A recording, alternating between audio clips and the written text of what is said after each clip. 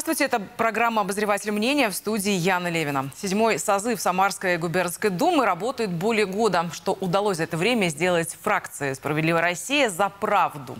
Об этом и многом другом поговорим с нашим гостем. Мы рады приветствовать Михаила Моряхина, депутата Самарской губернской думы, руководителя фракции «Справедливая Россия» в Самарской области. Михаил Иванович, здравствуйте. Очень Здравствуйте. рады видеть вас у нас в студии. Итак, год был э, непростой, год был э, сложный. И тем не менее, э, работа, конечно, фракции не останавливалась ни на один день. Давайте об этом поговорим более подробно, что удалось сделать за это время и о каких результатах работы э, фракции выборы сказали с особой гордостью. Ну, наверное, стоит отметить на ключевые события, которые произошли в прошлом году. Конечно, это начало специальной военной операции, это мобилизация, которая, по сути, определит спектр и работы законодателей, депутатов Самарской губернской думы, депутатов Государственной думы Российской Федерации. Для нас, для фракции «Справедливая Россия за правду», по сути, тоже э, являлся вектором. Это решение, это инициатива наших федеральных коллег, депутатов Государственной думы, которые внесли ключевые поправки, э, которые анонсировал председатель партии Сергей Михайлович Миронов. Это прежде всего 1 триллион на поддержку национальной экономики в связи с нынешней ситуацией, в связи с санкциями и э, том противодействии, которое мы получаем со стороны ряда европейских стран, и 300 миллиардов рублей на социальную политику. Конечно, это здравоохранение, это образование, это культура. Касательно нашей Самарской губернской думы, фракция представлена двумя депутатами, э, по сути, тольяттинцами, мной, Михаилом Орехин, моим коллегой, Максимом Николаевичем Гусейновым, депутатом Центрального района. Поэтому, конечно, в наших поправках формируется предложение, ну, в большей степени от города Тольятти, которое мы защищаем уже в стенах Самарской губернской думы.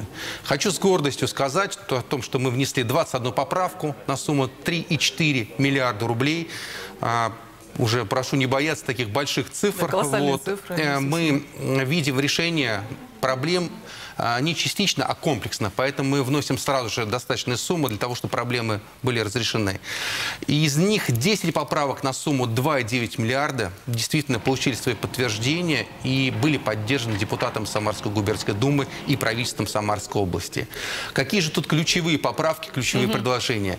Первое предложение, оно очень важно для образовательной системы, конечно, это капитальный ремонт образовательных учреждений Самарской области.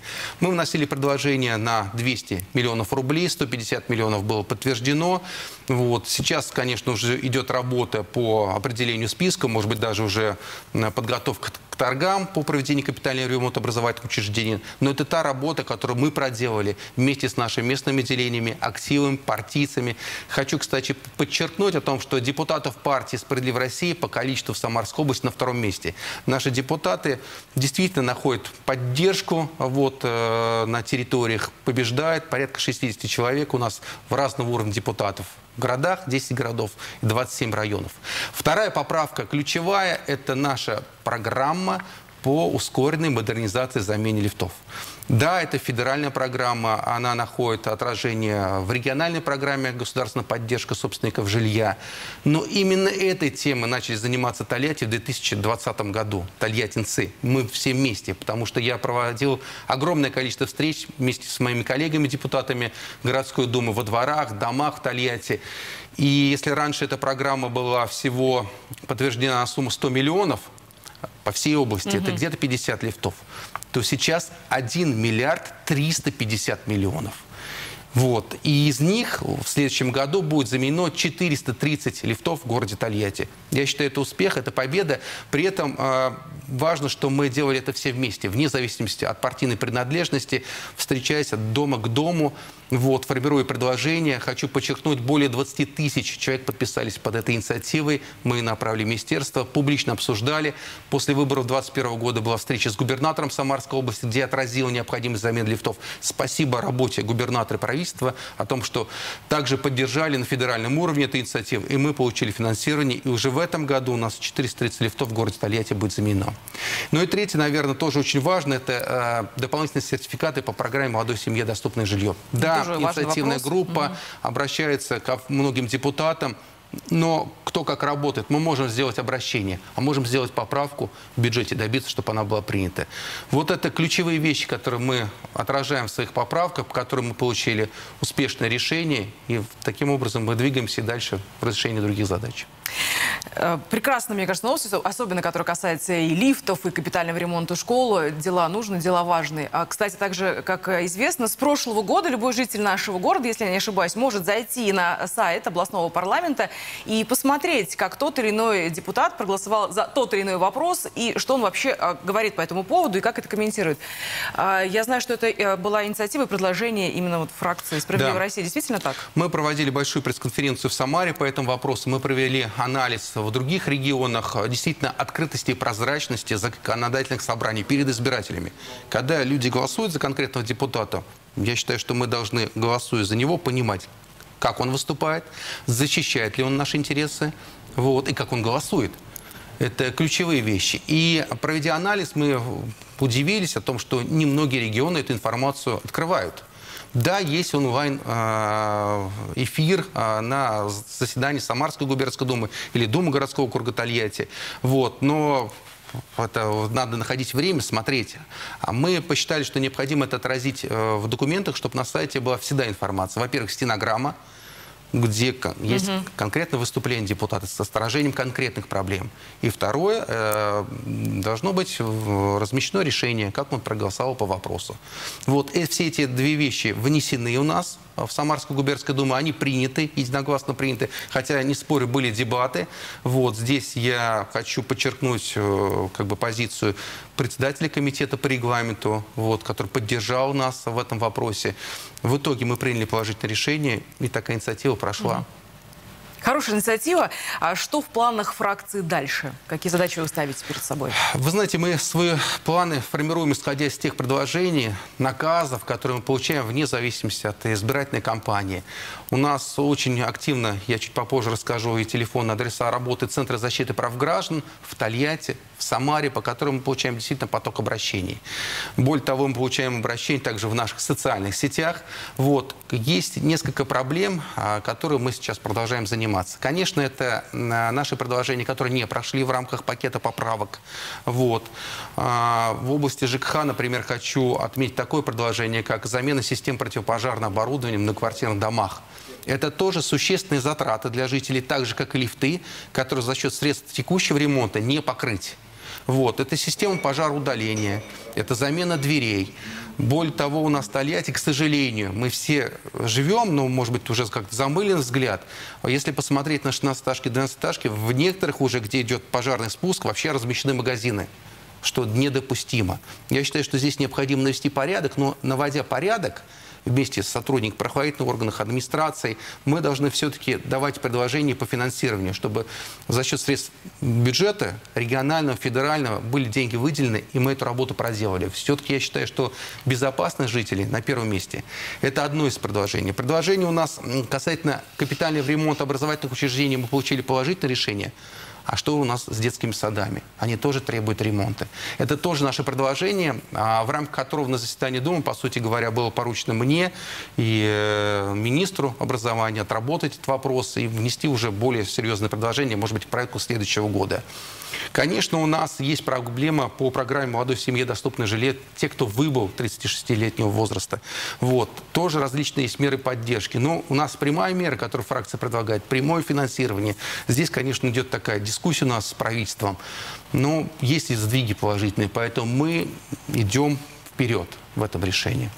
Вот. Это вот те инициативы, которые есть. Есть большой пакет инициатив в области капитального ремонта. Например, система сбора есть, взносов на капитальный ремонт. И не так давно был принят закон а, по сокращению сроков. Если дом новый, по сути говоря, он еще находится на неком гарантийном обслуживании. Вот. Но Раньше, ранее было через три года только взнос на капитальный ремонт людей собирали, а сейчас через год. То есть мы считаем это тоже э, решение несправедливым, считаем, что должен быть закон, который бы все-таки регулировал бы сроки. В общем, боремся по всем угу. фронтам. Конечно, повестку определяет нам тольяттинцы. Колоссальное, конечно, количество вопросов вы сейчас обозначили, и тем не менее я знаю, что э, фракция оказывает, э, находит время оказывать большую поддержку нашим э, бойцам, которые сейчас находятся в зоне проведения спецоперации. Давайте Об этом более подробно поговорим. Вы знаете, я горжусь за своих партийцев, вот, э, которые без сомнения после решения президента о начале специальной военной операции приняли решение по оказанию содействия нашим вооруженным силам, мы стали проводить работы. Да, действительно, это большая гуманитарная поддержка. Да, это поддержка там в Самаре, подразделений, которые в Рощинском находятся. Да, это поддержка там в Октябрьске, Сызрани. Вот, это действительно поездки наших э, однопартийцев туда, на территорию. Конечно, это большая работа в Тольятти, это серьезная нагрузка на наш Центр защиты прав граждан, куда со всех районов города Тольятти э, жители неравнодушно стали привозить помощь. Вот, мы, а, конечно, помогали нашим частям, которые а, до мобилизации выполняли свою задачу период мобилизации мы работали с мобилизованными на, в центре, который на Ворошилово находится, э, проводили несколько акций, но стали проводить акции действительно по заявкам. Вот, э, к нам мы получили обращение э, военнослужащих мобилизованных по медикаментам. Мы закупали угу. большую партию медикаментов, передавали ее, это есть информация в социальных сетях. Работа, действительно получили благодарности. Мы не сомневаемся в решении президента мы не сомневаемся в победе. Предлагаю э, тем временем обсудить еще одну э, тему. Вопрос о снабжении чистой питьевой водой в селе э, Подстепки Ставропольского района. Численность там, как известно, растет, людей становится все больше, и очистные сооружения не справляются. Как на сегодняшний день решается этот вопрос? Не секрет, что толетинцы живут в ближайших, в нашем рядом Ставропольском районе. То есть, по сути, не 3-4 тысячи, а 12, 15, 20 тысяч в окружении тех людей, которые живут за городом, но, по сути говоря, работают в городе Тольятти. Поэтому я не думаю, что мы как город потеряли свою численность. Но, живя за городом, мы имеем проблемы жителей, которые живут за городом. То есть, если здесь в Автозаводском районе, Центральном, Комсомольском, это системное очистное сооружение, которое работает, то там это та инфраструктура, которая была. Э, действительно, вода в подстепках в Приморском, коричневого цвета, ржавая вода с большим содержанием железа. А, я прекрасно знаю, что жители в частных домах э, достаточно серьезно несут затраты на систему очистки, вот. но эта проблема требует комплексного системного решения. А, она была обозначена не так давно прошедшем комитете Самарской губернской думе по ЖКХ. А, правительство Самарской области разработало программу развития коммунального сектора, разрешения проблем. Вот, мы приняли решение включить эти предложения вот в эту программу и более подробно рассмотреть уже на следующем заседании. Вот, поэтому, если есть какие-то конкретные проблемы конкретных территорий, конкретных улиц, вы можете присылать мне, как депутат Самарской губернской думы. Поверьте, я их буду отражать в публичном диалоге с правительством Самарской области, чтобы именно конкретно ваши адреса, конкретно э, территории были включены в ближайшие э, работы. Михаил Иванович, вы всегда были и, и всегда открыты для людей, для обращений. А, так вот, куда сейчас обращаться а, к вам за любой помощью? Мы живем в век современных технологий. Вот. конечно, это все социальные сети, вот, э, ВКонтакте, Одноклассники. Я получаю туда обращения абсолютно разного характера. Естественно, я сразу же даю поручение на отработку этих обращений, лично ставлю их на контроль. Если есть какая-то проблема, вот, конечно, она требует решения. Помимо этого, да, действительно хочу подчеркнуть о том, что у нас работает два центра защиты прав граждан в Самаре, в Тольятти. В Тольятти э, телефон Центра защиты прав граждан 95 33 20. Вот телефон да, Центра защиты прав граждан в Тольятти. Адрес юбилейный 37. Вот. Помимо этого хочу подчеркнуть, что в Тольятти работает общественная приемная наших депутатов. Ну, давайте также отдельно скажем нашим э, телезрителям, что они могут э, все, ваши, э, все их вопросы писать вам в социальной сети. Ответы, если вдруг вы не успеете написать им в социальных сетях, то все ответы вы можете озвучить и у нас в редакции телеканала Тольятти-24. Встречаться мы с вами будем чаще. Да, я действительно хочу подтвердить, мы приняли решение о системной э, вот таком формате работы. А, когда мы получаем обращения в социальных сетях путем там, звонков. Вот, и на те вопросы, которые актуальны не только для одного, там, для десяти, там, для там, большого количества избирателей, уже отвечать в прямом эфире для того, чтобы наши тольяттинцы видели решения по системным проблемам, как их решать и какая необходима помощь. Михаил Иванович, спасибо большое за этот э, диалог, за этот интересный разговор. Ждем вас снова.